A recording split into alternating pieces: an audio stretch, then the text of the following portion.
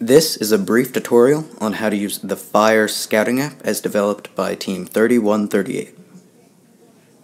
All scouting is done via tablets, and the tablets are connected to a base, like a phone, via a Bluetooth hub and not Wi-Fi, as that is against competition rules. The app is internet-based and is not a downloadable software, and each tablet is labeled with the robot it scouts. For example, Red 1, B3, it just depends on which team you are looking at based on the field. Logging in. Click the Fires bookmark on the home screen of the tablet.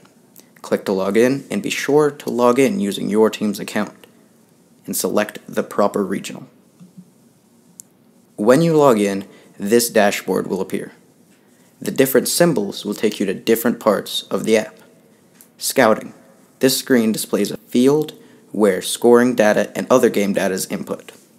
The dashboard is the location that displays scouting data with charts and graphs as well as raw data. Pit scouting is the area for gathering information about the teams while visiting their pits and taking pictures. Admin console is for managing admin controls, and most students will not be using this. And the pick list is used to sort and search teams and data based on defined criteria. After clicking Scouting, you will be sent to this screen. Double check you are scouting the correct match and robot. Locate your robot on the field using the photograph shown. At the bottom of this page, you will see this menu. Select whether your robot is starting with a power cube and attempt to guess what the ending score will be.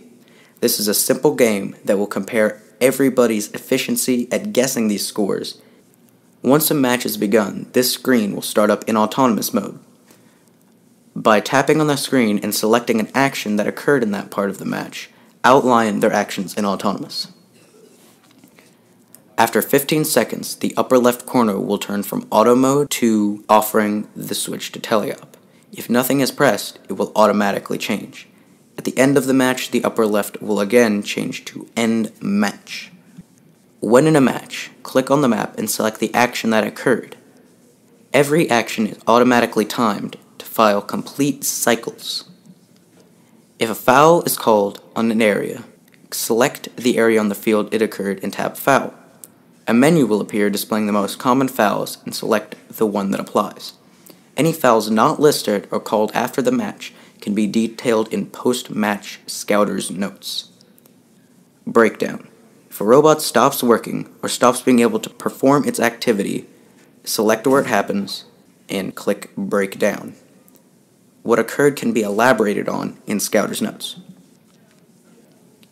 If a robot is seen deliberately preventing another robot from performing its action or crossing the field, it is considered defending. Select where it applied and who they defended. Any additional information can be put in the Scouter's notes. Actions. After you select an area, you then select the action performed there. As you can see, the actions are pick, throw success, throw fail, place, and drop. Pick is when a robot picks up a power cube. All pertaining actions are not able to be selected until the cube is used, and a cube is not able to be picked up until something is done with the prior cube. Throw success. The cube is thrown and lands on the switch or scale. A throw fail is when the cube is thrown and lands anywhere else but in the switch or scale.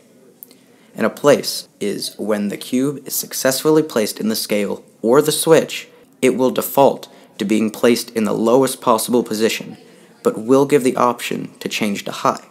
For example, when you click place in the scale, in the history, it will say placed low.